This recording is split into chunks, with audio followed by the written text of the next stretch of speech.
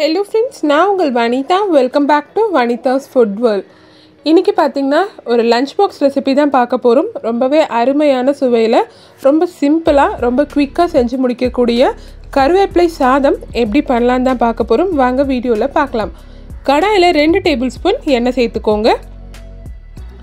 எண்ணெய் நல்லா சூடானதும் ஒரு டீஸ்பூன் கடலைப்பருப்பு ஒரு டீஸ்பூன் உளுந்து அரை டீஸ்பூன் மிளகு அரை டீஸ்பூன் தனியா. இது எல்லாத்தையும் எண்ணெயிலே நல்லா வதக்கிக்கோங்க. அதோட நிறம் மாற ஸ்டார்ட் ஆகிற ஸ்டேஜ் வரைக்கும் வதக்கிக்கோங்க.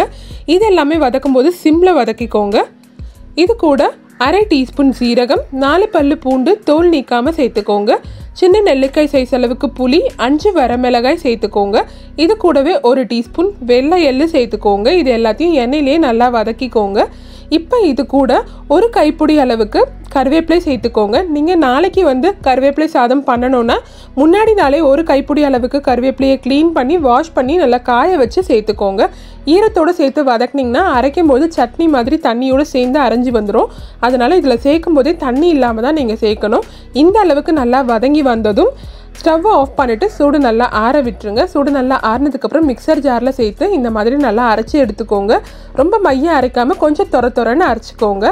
இதுக்கு வந்து நான் நார்மல் நார்மலாக வீட்டில் வடிக்கிற சாதத்துக்கு என்ன வடிப்போமோ அந்த அரிசியை ஒரு டம்ளர் அளவுக்கு போட்டு ரெண்டுலேருந்து மூணு முறை வாஷ் பண்ணிவிட்டு சாதத்தை வேக வச்சு வடித்து எடுத்து வச்சுருக்கேன்.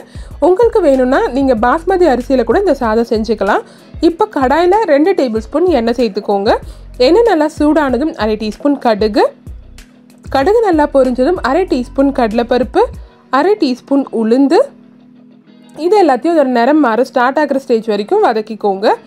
இது கூடவே அரை டீஸ்பூன் சீரகம் ஒரு கைப்பிடி அளவுக்கு வேர்க்கடலை சேர்த்துக்கோங்க. நான் பச்சை வேர்க்கடலை சேர்த்துருக்கேன். உங்களுக்கு வேணும்னா வேர்க்கடலை வறுத்துட்டு கூட சேர்த்துக்கலாம். இது கூடவே ஒரு வரமிளகாய் ஆறு முந்திரி பாதி பாதியாக உடச்சி சேர்த்துக்கோங்க. இதெல்லாமே நீங்கள் வதக்கும் போது ஸ்டவ்வை சிம்மில் வச்சு தான் வதக்கணும். அப்போ தான் அதோட நிறம் வந்து கருத்து போகாமல் இருக்கும். இது கூடவே ரெண்டு கொத்து கருவேப்பிலை அதையும் நல்லா வாஷ் பண்ணிவிட்டு தண்ணி எல்லாத்தையும் காய வச்சு சேர்த்துக்கோங்க. இந்த அளவுக்கு நல்லா வதங்கினதுக்கப்புறம் இது கூட அரை டீஸ்பூன் பெருங்காயத்தூள் தேவையான அளவுக்கு உப்பு சேர்த்துக்கோங்க. சாதத்தில் நீங்கள் உப்பு போட்டு வடிச்சிருந்தீங்கன்னா இதில் உப்பு போட வேண்டியது இல்லை. எல்லாத்தையும் நல்லா ஒரு முறை கிளறி விட்டுட்டு நம்ம ஆற வச்சு வச்சுருந்த சாதத்தையும் இதோட சேர்த்துக்கோங்க.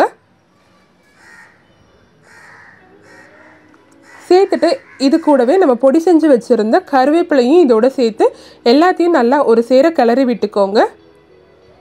இந்த அளவுக்கு நல்லா மிக்ஸ் பண்ணிவிட்டு ஸ்டவ் ஆஃப் பண்ணிவிடுங்க அவ்வளோதாங்க ரொம்பவே அருமையான சுவையில் கருவேப்பிலை சாதம் தயாராகிடுச்சு இதில் வேணும்னா உங்களுக்கு நீங்கள் நெய் கூட ஒரு டீஸ்பூனுக்கு சேர்த்துக்கலாம். நான் நெய் சேர்க்கலை. நெய் சேர்த்தாலும் டேஸ்ட் ரொம்ப நல்லாயிருக்கும் இன்றைக்கி நான் செய்த இந்த ரெசிபி உங்களுக்கு பிடிச்சிருந்ததுன்னா லைக் பண்ணுங்கள் ஷேர் பண்ணுங்கள் அண்ட் மறக்காமல் நம்மளுடைய சேனல் சப்ஸ்கிரைப் பண்ணுங்கள் தேங்க்ஸ் ஃபார் வாட்சிங்